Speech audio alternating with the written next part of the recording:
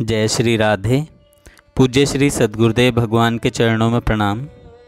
आज पूज्य श्री राधा बाबा कहते हैं, भगवान के चरणों में वीणा का चिन्ह भी है। मुरली के अतिरिक्त भगवान को वीणा अतिशय प्यारी है। मुरली तो भगवान स्वयं धारण किए रहते हैं और स्वयं ही बजाते हैं।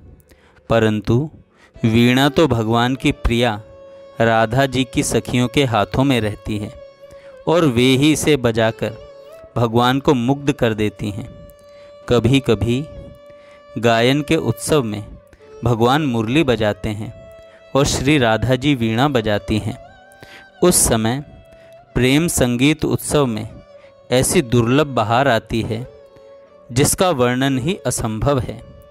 तार वाद्यों में सबसे आदि वाद्य वीणा है। अनेक भक्तों के भावानुसार भगवान के चरणों में जो वीणा है, वह ब्रह्म वीणा है। भगवान ने इसे अपने परम भक्त नारद जी को प्रदान कर रखी है। यह वीणा जो नारद जी के हाथ में रहती है, भगवान का नाम गायन करती है। जिसके हृदय में भगवान के चरण बसते हैं, उसके कान में वीणा के समान परम सुरीला भगवान का नाम निरंतर ध्वनित होता रहता है। जब मैं पूज्य बाबा कहते हैं, जब मैं पहली बार श्री भाई जी के पास गीता वाटिका में आया था तो उस दिन अश्विन शुक्ला एकादशी थी।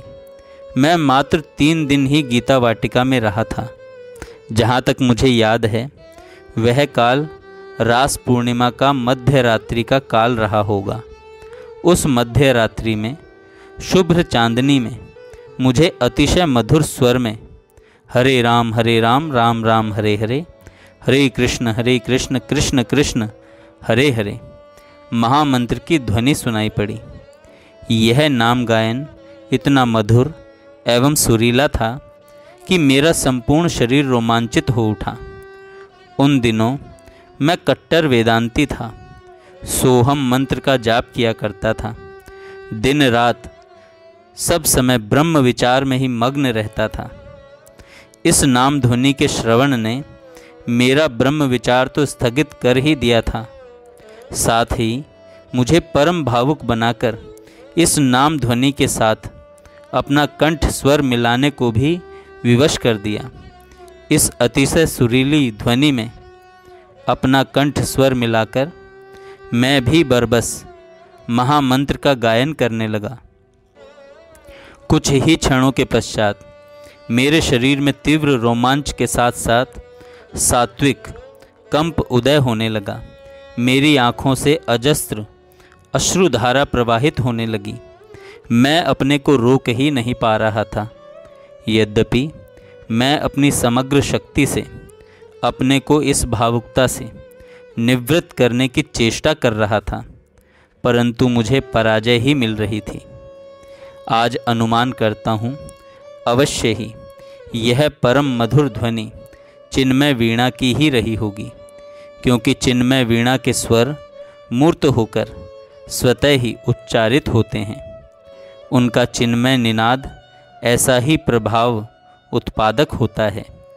इस चिन्मय नाद से शुष्क से शुष्क प्राणी में भी रस का संचार हो जाता है। उसके अंगों में अष्ट सात्विक विकारों के लक्षण भी प्रकट हो जाते हैं। यह चिन्मय ब्रह्म वीणा भगवान के चरणों में अखंड निवास करती है। भगवान के रसिक भक्तों को जैसे मुरली अपने नाद से आकर्षित करती है, उसी प्रकार यह वीणा भी भक्त को भक्ति समुद्र में डुबा देने का सामर्थ्य रखती है। आगे बाबा कहते हैं कि इन पत्रों में मैंने आपको भगवान के प्राय सभी प्रमुख चरण चिन्हों का वर्णन सुनाया। उपनिषदों में एक बहुत ही पवित्र उल्लेख है, भगवान न तो बहुत प्रवचन करने से प्राप्त होते हैं, न ही बहुत सुनने से। वे तो उसी को प्राप्त होते हैं, जो भगवान को वर्ण करता है। यहाँ वर्ण करने का अर्थ यही समझना चाहिए कि भगवान के नाम रूप, लीला एवं धाम में अपने चित्त को एक तान, एकात्म कर देना। जैसे कोई भगवान के नाम को ही अपना जीवन बना ले, नाम जब से मृत्यु पर्यंत हटे ही नहीं। जिह्वागत वाणी नाम जपते जपते ही मृत्यु काल में भगवान नाम में लीन हो जाए। जो इस प्रकार भगवान को अपने जीवन में वर्ण कर लेगा, उसे निश्चय ही भगवान की प्राप्ति हो जाएगी। आप तो परम सात्विक, समझदार और सच्चरित्र, सरल ब्राह्मण हैं। भगवान के चरणों को वर्ण कर लीजिए।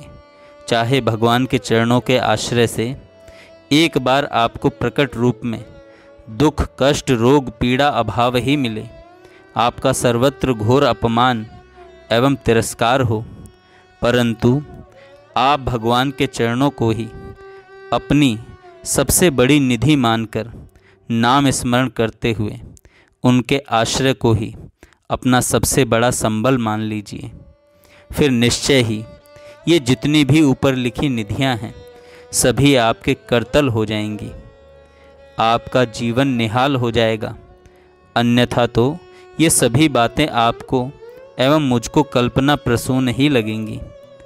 फिर एक बार यह बात दोहराता हूँ। पुनः पुनः एक ही बात दोहराता हूँ। खूब भगवान नाम लीजिए। भगवान के नाम आश्रय साधक को, भगवान का नाम गुरु बनकर ऐसे अनेकों परम चिन्मय अनुभव कराता है, जो अभी हमारी कल्पना में भी नहीं है। जो भगवान के नाम जप को प्रमादवश त्यागता है। वह अपने मन में चाहे अपने को महाज्ञानी समझता रहे। परंतु सच्ची बात यही है कि उसका अनमोल मानव जीवन व्यर्थ ही जा रहा है। वह बहुत ही अनमोल दामी वस्तु से वंचित हो जाता है। जय श्री राधे। जय श्री राधे। पूज्य श्री